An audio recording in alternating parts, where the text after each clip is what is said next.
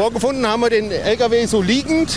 Der Auf Anhänger hing quer noch fast auf der Fahrbahn, sodass wir mit äh, zwei Kränen und zwei Abschleppwagen anrücken mussten, um den Anhänger wegzuheben und mit zwei Kränen das Fahrzeug aufzustellen und aus der Böschung zu heben.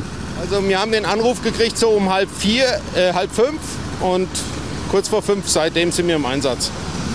Also die Straßenverhältnisse waren teilweise katastrophal, weil die Stehdecke festgefahren war und da ist wie so ein Riffelmuster drauf, was immer noch glatt ist. Und das Salz packt das einfach nicht wegzumachen. Ja, wir haben jetzt den Anhänger äh, schon geborgen, der ist schon zum Abtransport bereit. Der nächste Schritt wird sein, dass wir mit dem Kran nach Ausbau der Gelenkwelle das Fahrzeug anheben und auf die Räder stellen und dann mit dem zweiten Kran noch mit aufbauen und den dann zusammen rausheben. Osthessen News. Sehen, was bewegt.